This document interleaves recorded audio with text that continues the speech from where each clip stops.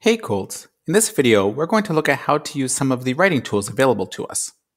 In order to access them, we must first make sure that our Chrome browser is logged into our school account.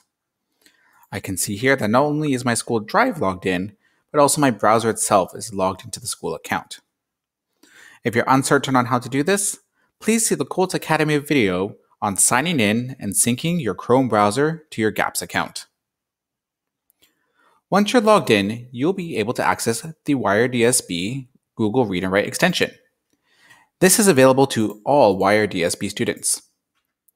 To turn on the extension, I'm going to click on the purple puzzle piece with the RW symbol. This will open up the Google Read and Write extension bar. Google Read and Write is fully compatible with all WRDSB GAPS applications.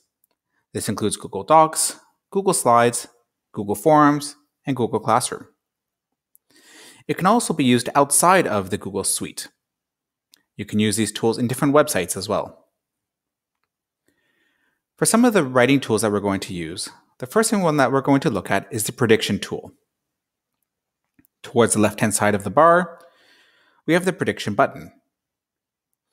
Once I click and activate the prediction button, as I type, Google will try and predict the words that I'm trying to write. This is similar to the prediction tools that you might have on your phone as you're trying to write a text message.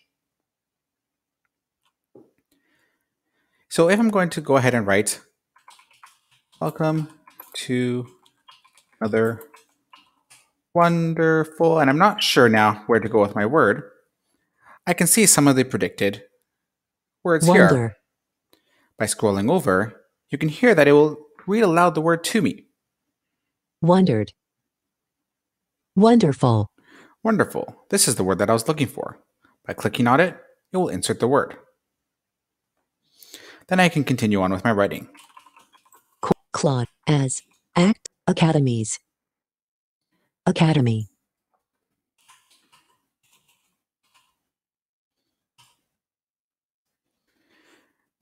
Tool can be used and can be helpful if you're having difficulty spelling words. Another handy tool that we have available to us is the speech to text. I'm going to, for the moment, turn off predictive text. And I'm going to click on the headset icon here. Once I activate the talk and type, Google will start to take all of the speech that I'm saying and convert it into text. Just like when you're using your phone, this isn't always 100% accurate, but it is a good way to get your ideas out and onto the page in a quick and efficient manner. You can then go back and work on editing. When I click on the talk and type icon, first Google will ask me if I want to allow my microphone, which I do.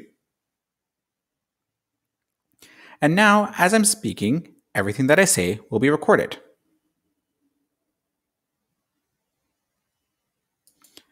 By clicking on the microphone icon, I can stop the recording and the speech to text process. This way, if I want to take a break and have a conversation or brainstorm ideas with another partner or a peer, it won't record everything. If I want to begin recording again, I can simply click the microphone icon. Now, Google is continuing to record everything that I'm saying. This is a good way for me to get my ideas on the page quickly.